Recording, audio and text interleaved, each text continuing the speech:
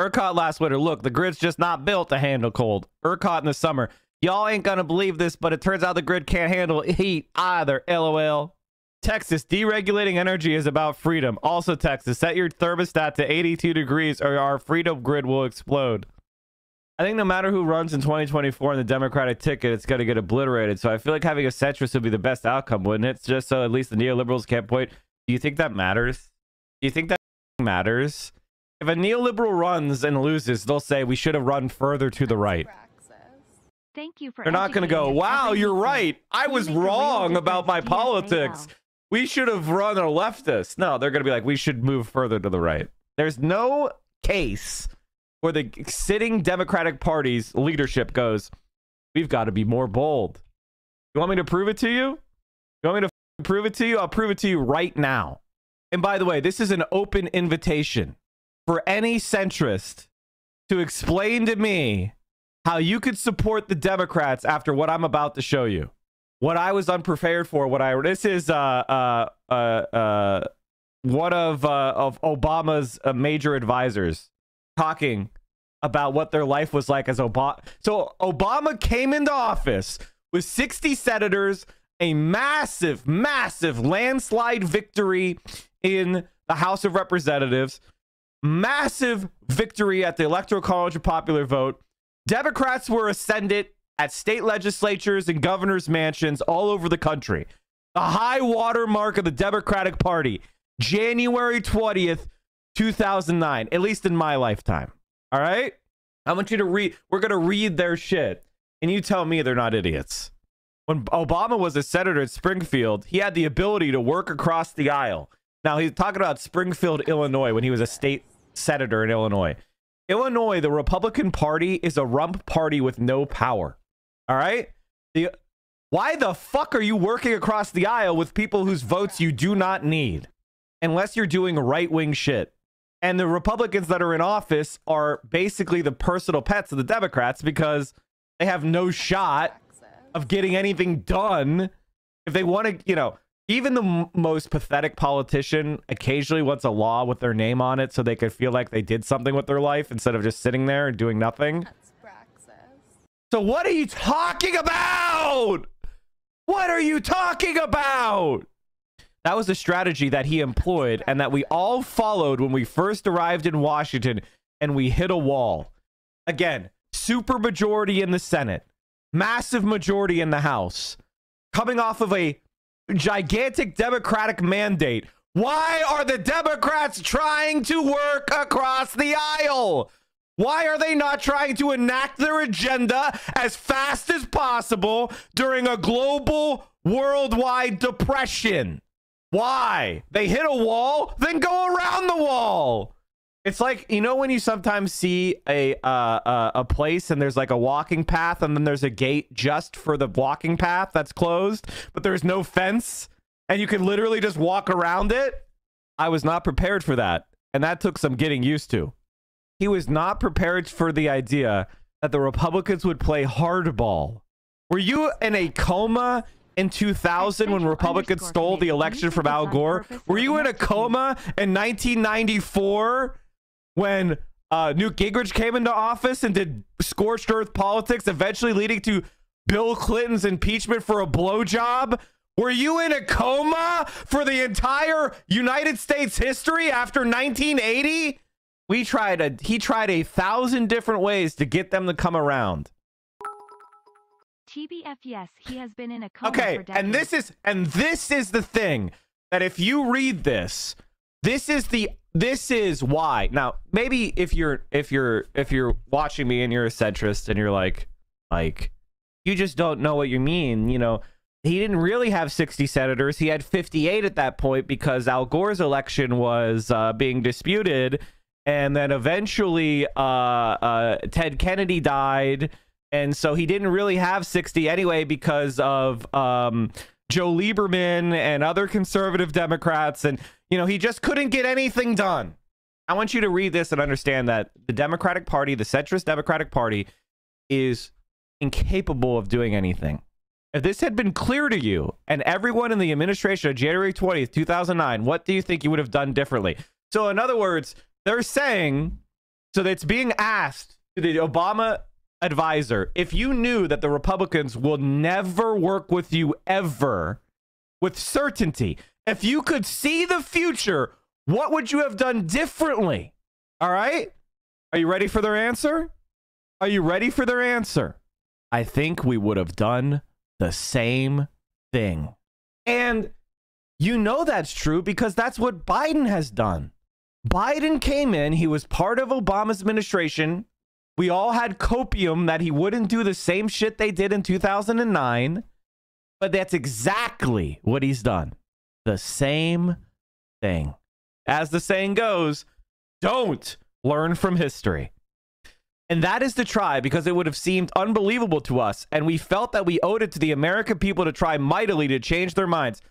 In other words, he's dug in and he's to be a cuck no matter what he knows. This is irrational.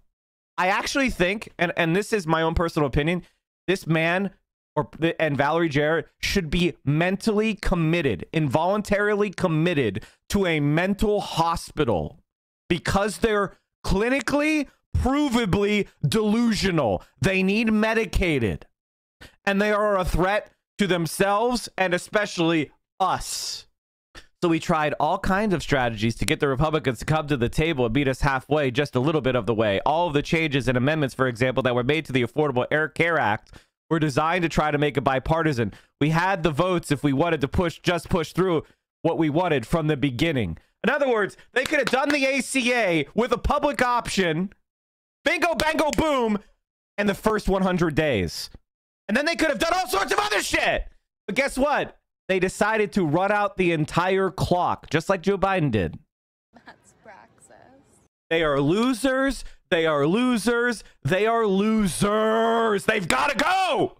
What was it that you could have pushed through from the beginning? We could have pushed through a plan that didn't have all those amendments. There were almost 200 of them, all of which I would put firmly out of my mind. But for example, we really had hope that Olivia, Olympia Snowe would have come on board, and we worked with her. She did not. We worked with several of the Republicans say, okay, what is it that you need in order to support this? Keep in mind that it was modeled after Massachusetts health care bill that Governor Romney has endorsed. So we started out with a compromise. We didn't start out with a public option or single payer. Have you ever thought that maybe you're a pathetic cuck loser piece of shit? The fact that this person can walk around with that, I mean, my God, how do I get people to change? How, how, how? Somebody fucking tell me how I get people to read this and understand it and do something. And this is the impossible task differently. Why is that important, though? Obama tried to be part bipartisan in a lot of different ways. He was still hated by Republicans. The bill was still extremely unpopular with Republicans, and until fairly recently with independents. So, what was the patriotic? Was it was either the patriotic value or political value of trying? I think it's a good governance value. I think that you shouldn't be able to. Mm, good governance is bad policy? For us, this wasn't about politics, it was about governing. You're not governing when you fail to pass. Governing is passing policies and making the world better. Governing is not jacking off in DC. You fucking loser. I'm sorry, chat. I don't know how to do I don't know how to say anything but this. I'm screaming. I'm literally screaming into a void right now. That's how insane these people are making me. When you're elected president of the entire United States, it's important that you're not just appealing to the people who elected you. Stop smelling your own farts. Stop watching West Wing. Stop fantasizing. I can't stop myself from screaming. This is so insane. This is, you know why I yell? I'll give you an now. Uh, I'm gonna. I can't stop myself. I can't, and I'll tell you why. This is like have you ever been a passenger in somebody else's car and they're on the highway and they just start doing the most absolutely batshit dangerous crap? Well, you're a passenger in that vehicle, right? Your life is in their hands. And maybe when you're a teenager, you won't say anything because you're too, you know, you want to be cool. But if I was in the passenger seat of a car and somebody started doing dangerous shit, I would try, hey, if you do that, don't do that. I would talk to them and say, at first, I would try talking to them, and then I would try uh, raising my voice a little bit, and then I would start I don't know, yelling at them. And if necessary, I might even try to take the wheel if they were dangerous enough. Right? And it's uncomfortable. You don't want to do that. But it's either that or you sit there timidly until they run you into a wall. I would commandeer the vehicle at 80 miles an hour. I mean, it depends on what's happening, right? If somebody someone could be doing something dumb enough at 80 miles an hour that you might decide that that was your only hope, right? That's where we're at. For us, this wasn't about politics. It was about governing. When you're elected president of the United States, it's not important that you're not just appealing to the people who elected you. And President Obama was determined to be president for all of America. You know what your duty is as president? To pass the best policies you can to enhance the well-being of the most Americans, and then to convince them and inform them and educate them about what you're doing and what the outcomes will be. That is what you're supposed to do. You're not supposed to have some sort of political circle jerk with politicians. Your job is to uh, promote the general welfare of the United States of America. This is bad governance, not good governance. The reason why it's so important to reach out is that we wanted people who lived in states that who had elected officials who were Republicans to know we were there for them too. You know how you know let them know that? You make their lives better. That's what FDR did. Now FDR had some policies and, and made mistakes, especially during World War II. But he got four terms as president because he made people's lives better. He didn't say, I'm going to appeal to the politicians who disagree with you. He said, I'm going to appeal to the people. I'm going to make the people's lives better and they'll see it. My God. If you want to support Republican policies, run as a Republican.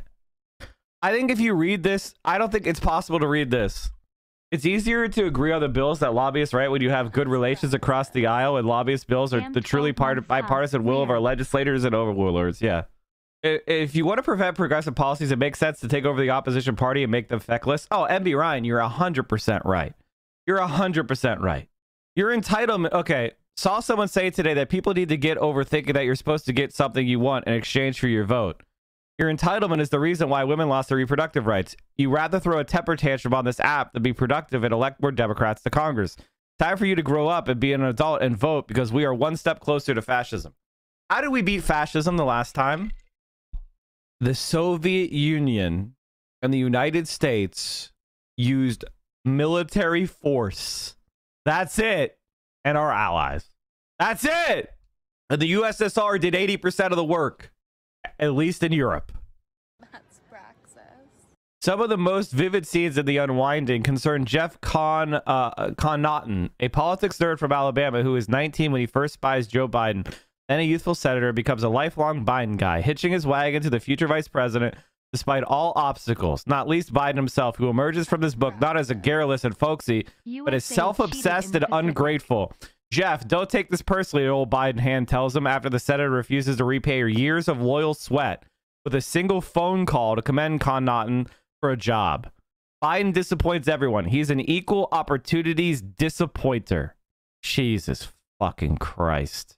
Respondents were asked to select the most important reason they would prefer a different unspecified nominee over Biden. A third of respondents answered the president's job performance, a third cited his age, and 10% their preference for Biden not being progressive enough. Biden's support among Dems is a collapse. It's not just a progressive vanguard. I live in a red state that's so gerrymandered that it doesn't matter how much we vote. When we get these entitled ass libs telling us the reason you lost so much is that you don't vote enough, all they successfully do is piss off people who voted blue over and over in red states just to lose everything as Dems do nothing. Absolutely nothing. I'm sorry, man. I I I know that when I yell, I lose some amount percentage of people. I think if you're able to listen to what I'm saying, like when I yell, I'm not just doing a primal yelp. I'm actually making arguments that I'm just passionate about. But I do know that some people don't like yelling, uh, you know, for various reasons that are totally valid. Um, other people, you know, they get with it. They understand what I'm trying to do. They understand what I'm saying. They listen to the words and they agree with the emotion. But I don't know. The reason why, the only reason why I reflect is because I know that we need, we need radical change now, and I don't know what to say. I mean, this is what's coming down the court. This is what's coming down. Like, look at this. Donald Trump's big lie that the 2020 election was stolen is still at the center of Republican politics, especially at the state level in state primaries. We've seen this play out from state to state. The Republican frontrunner to be the next governor of Arizona, Kari Lake, Last week at a primary debate, she used the big lie to bludgeon her opponent, who is not an election denier. When you yell, usually I'm feeling the same way. Unfortunately, it does mean that my MSNBC loving wife is going to be turning her ears off if she's enraged. Yeah, because there's a lot of people that just can't handle the, uh, uh, you know, let's just say that these people are not ready for the coming times. That's all I can say. You can't handle yelling, you know, you're going to have a hard time handling the future. I can tell you that. lie to bludgeon her opponent, who is not an election denier. You've called Joe Biden an illegitimate president. What does that mean? He lost the election and he shouldn't be in the White House. We had a corrupt election. I'd actually like to ask everybody on this stage if they would agree we had a corrupt, stolen election. Raise your hand. Did we have? Did we? Complete fascist. I, I honestly, and I, you know, hypothetically, let's just say hypothetically that it's Germany 1932. Adolf Hitler's on a debate stage. What would you be justified in doing? That's where we're at. We have. It's a I simple would question. like to. I- Did I'm not going to I've play got your, questions. your. I think I think the thing that disappoints me the most is I know what's coming, but I'm still not gonna do what you know. I'm gonna keep doing what I'm doing. All right, I'm gonna be just as dumb as the libs are. I'm gonna keep going on here. I'm gonna keep knocking doors and supporting candidates and telling you we need change and you know i'm not gonna outfit a hundred riflemen you know what i mean like I, uh, i'm just gonna do what i'm doing you know i'm gonna try i'm gonna try to get people to wake up that's the sad thing the sad thing was that she was the most reasonable one on this stage will there be another romeo bet for chat yeah it's usually at the end of the stream stunt. She's not going to play the stunt, although the stunt sort of happened, right? This is a state level race. The January 6th hearings have shown how much pressure was put on state level officials to overturn the elections. And the hearings have also shown how officials like Republican Arizona Speaker of the House Rusty Bowers, a fellow Arizona Republican, who resisted that pressure, ended up playing a key role in saving our democracy. But now, the Supreme Court has agreed to hear a case that could essentially make it easier for rogue state officials to carry out the coup the next time around. Marc Elias is the foremost election lawyer in the country, the founder of Democracy Docket. On this upcoming case, he told the Washington Post Republicans are, quote, learning where the pressure points and vulnerabilities are in our election systems and refining their tactics. And he joins me now. Marc, I have to say that um, people that I follow um, who are not people given to hyperbole or panic sound panicked about the fact the court has taken this case. Explain what this case is and why people are so worried about it. Yeah. So, Chris, thanks for having me back. And I am usually among those people who are not panicked by any one case before one court. I always counsel against assuming that any one court decision is going to dramatically change the landscape. But this case is different because this is a case that Republicans are trying to use to advance a fringe theory that has never been adopted before that says that state courts reviewing state statutes and actions of state legislatures cannot apply their own state constitutions. This is a radical, radical idea that we would strip state courts of the ability of, of protecting voters using their state constitutions. And just to get some context here, this case uh, emerges out of North Carolina, but we've seen in North Carolina in many states, um, either states have adopted uh, referenda or state ballot initiatives or state constitutional changes that control how the state is going to do things like gerrymandering that say that you can't partisan gerrymander. And what we've seen in state after state, Ohio is a place that you've been litigating that we've put a lot of attention. We've seen in North Carolina. What's happened in state after state is Republicans have basically said, screw you, state law. We're going to maximize our electoral strength through gerrymandering. And again, then what often happens, as happened in North Carolina, I believe, and Ohio and other places, is the state Supreme Court, sometimes dominated by Republicans, comes in and say, you can't do this. That's a violation of the state constitution. Republicans want to make that impossible. Is that right? Correct. And not just in the redistricting arena. It would be bad enough to say that the North Carolina state courts can't hold the state legislature to the state constitution and drawing congressional districts. It'd be bad enough that were true with the Ohio Supreme Court and the redistricting process there for Congress. But this would affect state courts like Montana that has struck down voter suppression laws in that state under the state constitution, Pennsylvania, North Carolina, Minnesota, uh, uh, Michigan. The list goes on and on. What Republicans want to do is take a vital tool out of the toolbox for those people trying to protect democracy. And that tool are the state courts using state law and state constitutions to hold their state legislatures accountable to those laws. And we should just be clear about the. I mean, I, I hope we're, we're we're spelling this out clearly because it can be a little complex. But but just to give an example here, I mean, what's so dangerous about this is if the state legislature draws its own districts, and it draws it in such a way that, say, a, a, a Republican Party can get 57% of the seats with 45% of the votes then they've used this kind of anti-democratic means to kind of barricade themselves in power. And then if the Supreme Court comes along and says, sorry, those guys are essentially unreviewable. They can do whatever they want. You're, you're in a pretty like a vice grip of minority rule then.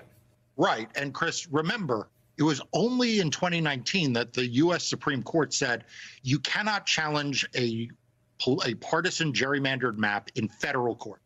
Okay. There's no way to challenge partisan gerrymandering in federal court. That was a 5 4 decision by the yep. Supreme Court. But Chief Justice Roberts said in that opinion, don't worry.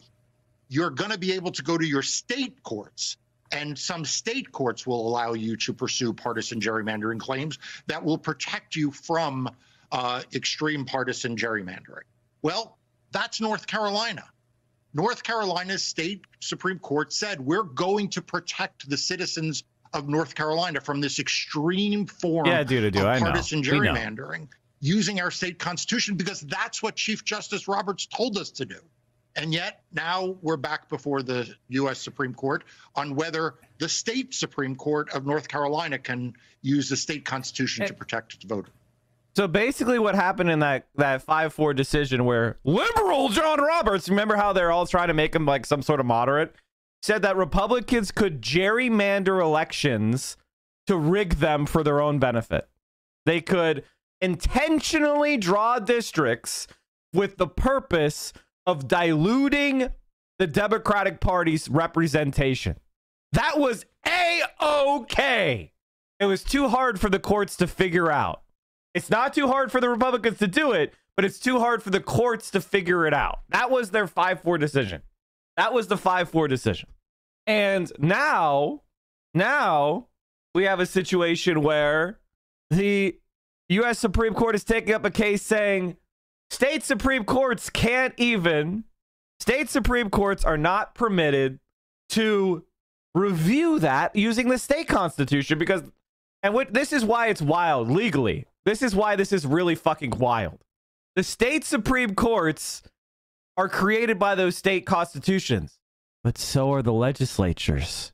How could you say that a legislature that gets created by a document is not bound by that document? That is insane. What? They're just bootstrapped out of nothing?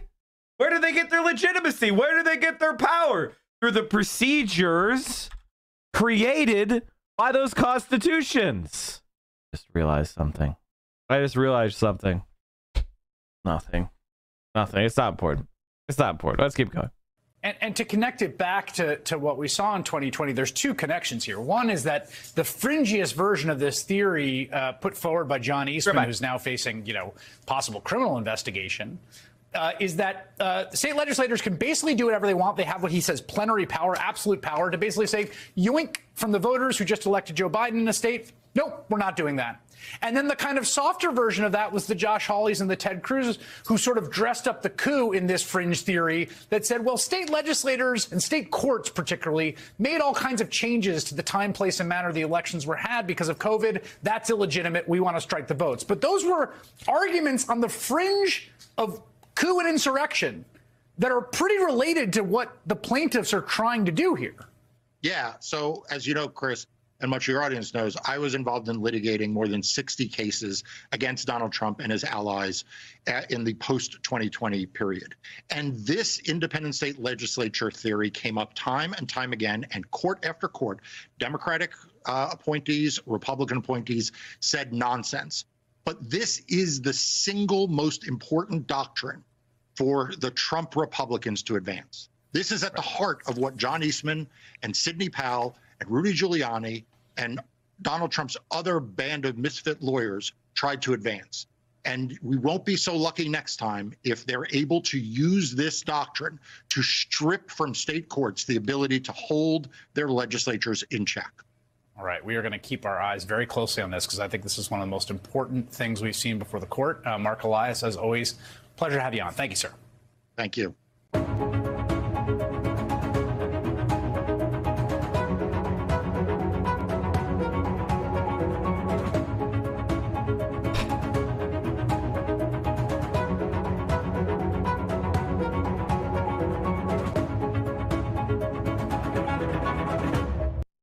I know is that these the situation that we're in is dire.